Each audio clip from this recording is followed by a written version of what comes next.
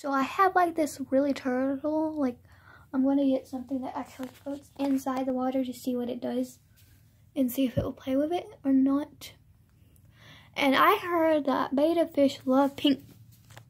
Why the heck is there so much food on that little shell?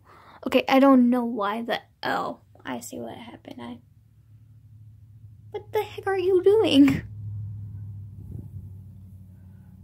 Okay, um, anyways, um, let's go get something that, so I'm going to put this little, I think this was a golf ball. I'm going to put it in there to see what he thinks about it. So I'm just, oh, wait, it, uh, it won't fit, so I have to get on the tank and then see this. I'll just take that off.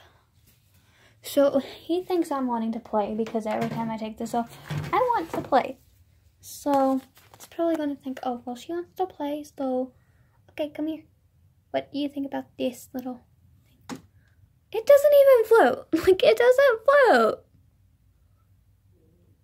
It doesn't float. Sorry about that. Sorry about that little betta.